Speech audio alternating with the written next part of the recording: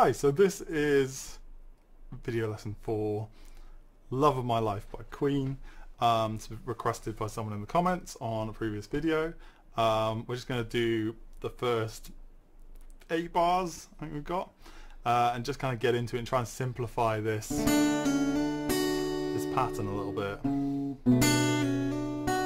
Okay, so tabs we've got up are a sort of simplified version of what I've found various versions online and so on. Uh, so what we're going to do here is we're going to be starting with a D major chord and then we're going to be switching to a B minor chord. But we're not going to bar the whole of the B minor and we're not going to play the D major like you normally would. We're actually going to bar the G, B and E strings here for the D major and then place our second finger on the third fret of the B string to give us our D major. Okay, then we're going to play the D, G and B and pull off our second finger so that we have a pull off to the second fret and then we're going to hammer onto the third again. So it sounds like this. Really nice if you can get that pull off hammer on and then we're just going to play the high E. Okay, so just that first part like that. Okay. Then what we're going to do is we're going to play just before we change to the B here. We're going to play this fourth fret on the A string. Okay, so it's going to be like this.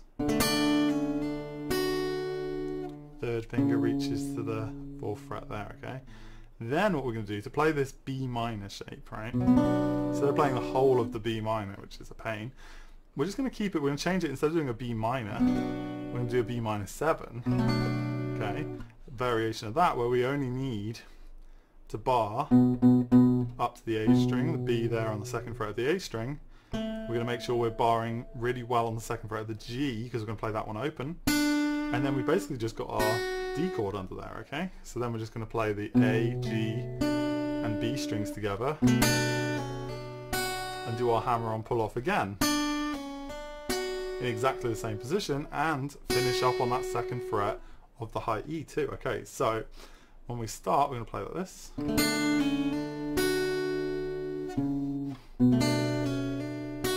Okay, so all we're doing there is just missing, basically missing the D string out. And what I'm doing when I'm playing these first ones on the D and the B, I'm actually rolling and doing a really quick arpeggio with my fingers so it goes instead of playing them all together. But if you wanted to simplify, you could do it just all together, like it is in the tabs, okay? So it's just like this.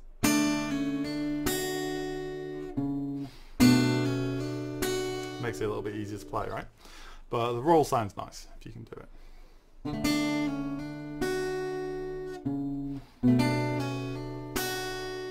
Then we're playing an open A there just before we go into the next chord which is just an E minor, just a standard open E minor, okay? And we're going to play that one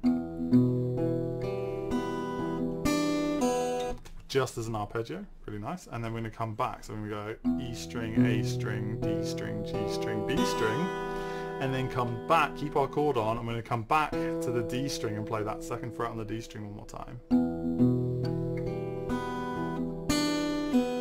Then we're playing the high, uh, the sorry, the third fret on the B string, on, and then we're pulling it off. Okay, so we're going to do that. We can play this E either with our second and third fingers and then use our fourth finger for that, or we could play it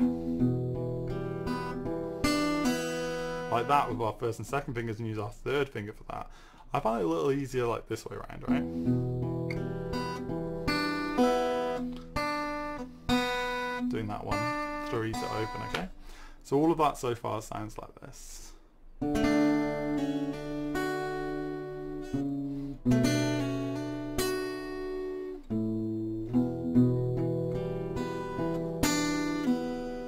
And this is a sort of simplified version, so we're just going to do this three and then pull off, and then we're going to be changing into the next section where we're playing these partial chords. And what we're really playing here is an A minus, an A major, sorry, an A dominant seven. A dominant seven there, just with two fingers. So that would be, normal chord would be open A, second fret D, open G, second fret B, open E. So dominant. But we're just going to be playing the D, G and B strings together. Now we're alternating that with an open A string, so, so we're playing with our thumb, first and second finger on those strings, and then the thumb comes up to the A string, next chord, and we're playing that open A in between each one. Now the second chord we're playing is a variation on that B minor 7, okay, so even though there's usually a B minor in this, we're actually playing B minor 7 there. And then we're into a C dominant 7. So we're just playing this part though, so we don't need the bar, okay? So this part, here we're going up to 4th fret on the D, 3rd fret on the B, still open G every time. Then 5 and 5 on the D and the B string.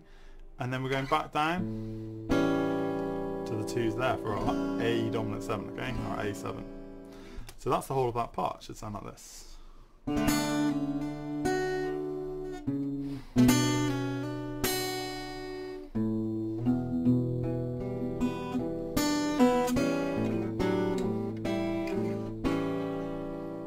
Okay, and then we're back into the same bit again first part of this just repeats. So if we get that up, we can have a look at it.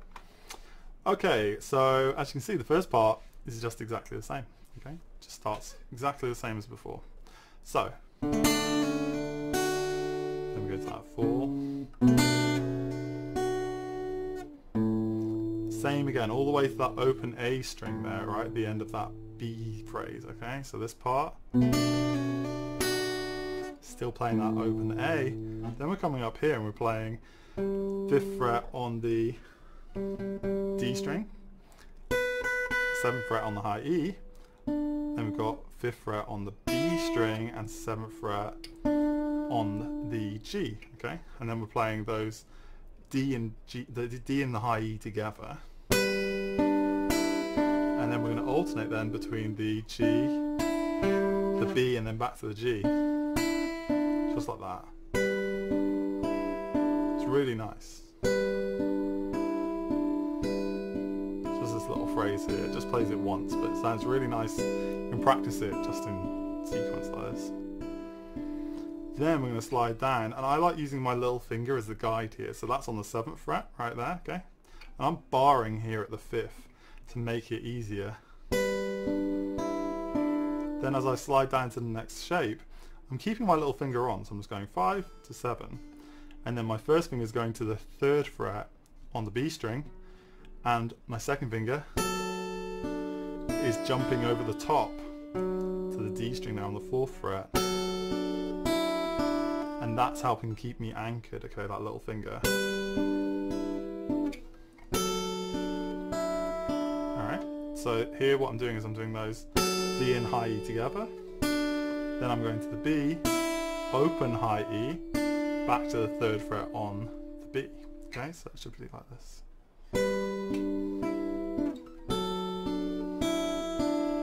Nice little sequence. Then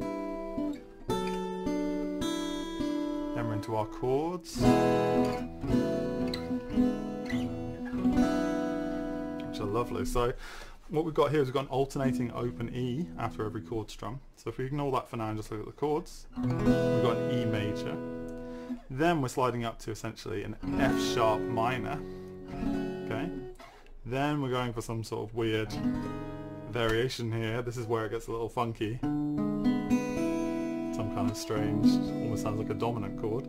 Um, and then a B minor. Okay, these are the underlying chords of what we're doing, but we're just playing parts of them. So we're playing all of the E major. Then we're going to slide up and we're going to play 4-4-2 on the A, D and G string. And all the other strings open, okay? Then we're going to go up to a 5-6-4 on the A, D and G strings and then we go up to a 997 on the A, D and G string. All the other strings open, and in between those, we're going to play an open E, just the E string on its own, low E.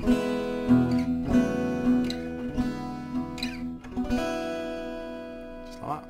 Yeah, and that's the whole thing.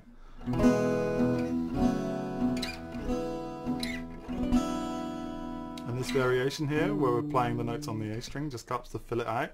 means we can play all the strings and we don't have to worry about not hitting the A string. It could be a bit awkward not hitting that A. So we can just strum the whole thing. Just like that, okay? So it should sound like this all together. One last time.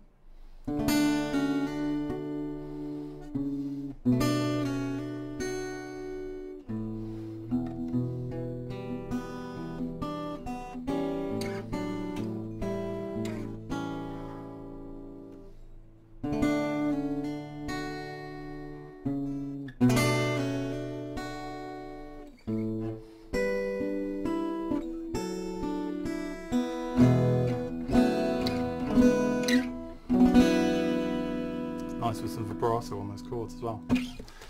So there we go, that's the whole thing. Uh, yeah, good luck. Let me know if you have any more suggestions or requests for lessons um, and let me know how you get on with it. See you next time. Oh, don't forget to like, comment and subscribe. Yeah, bye.